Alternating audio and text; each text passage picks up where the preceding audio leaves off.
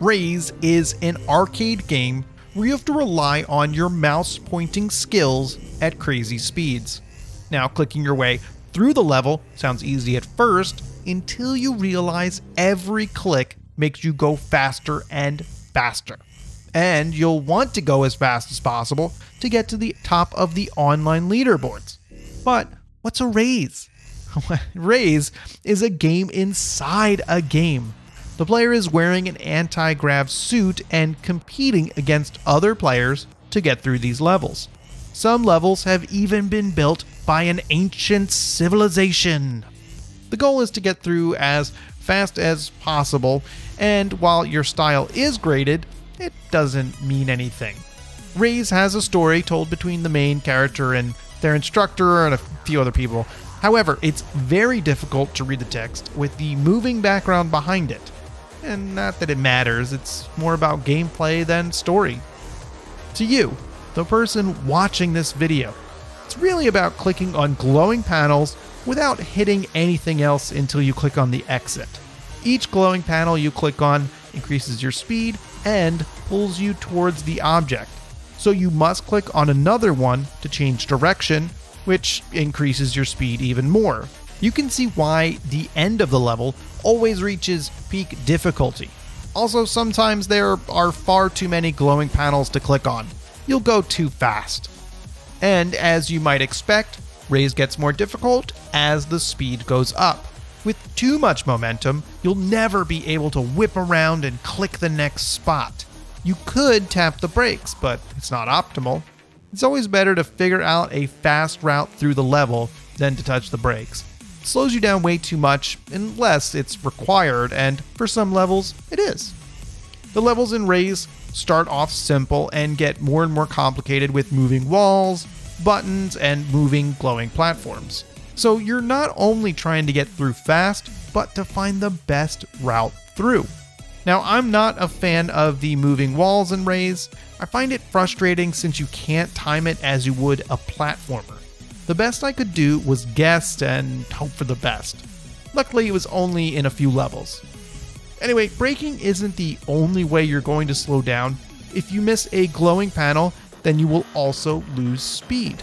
A miss will subtract 60 from your speed, while braking subtracts 200.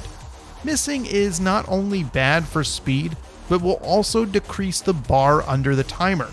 I don't quite understand what the bar signifies, but what I do know is that once it's gone, it's game over. The bar is constantly depleting, so there's a reason not to make it go any faster than it needs to. One thing to note is that while we've talked about how speed is important, but it kills, you do need the speed. Once you click the exit, there's nothing else for you to do, and so your speed is stuck. Sometimes the exit is very far away, and it seems absurd for you to sit there waiting as you fly towards it at a speed that is far too slow. Having the right amount of speed to make it through the level and then not leisurely fly towards the exit is a required skill. At its core, RAYZE is about precision and speed with a mouse. You have to crank the sensitivity as high as you can while still being able to maintain the ability to click perfectly. You might even have to change it in your mouse software or operating system. Even with the game at maximum sensitivity, I'm not sure that's going to be enough for the top players. I used the little button on the bottom of my mouse to jack up the sensitivity, and that did work early on. Eventually, with all the crazy levels, it was far too sensitive and I had to back out. I figure once you learn the level, then it's time to slowly increase the mouse speed. Oh, hey, uh, side note. The point of RAYZE is to replay the levels endlessly, trying to top the leaderboards. I think I've said it enough, but I want to be clear. With only 30 levels, it doesn't take long to finish them. It isn't even that much of a challenge to slowly get to the end. RAYZE only works if you're incapable of stopping when you know you can do better. Your standing in the leaderboards is constantly shown to you. There's even a little global standing where I believe the time is converted to a score. Weird, but that's the best I could come up with. One last thought before I wrap this up. I hate to crap on this, but the interface of RAYZE is terrible. I don't know if you've noticed, but the fonts are all over the place and there's zero consideration for reading the text. I'm sorry to point this out, but I wish games did better here. It makes RAYZE feel sloppy when I know there was a real effort to create. Overall, RAYZE is simple but fun. The quick gameplay and short levels really pulled the perfectionist out of me.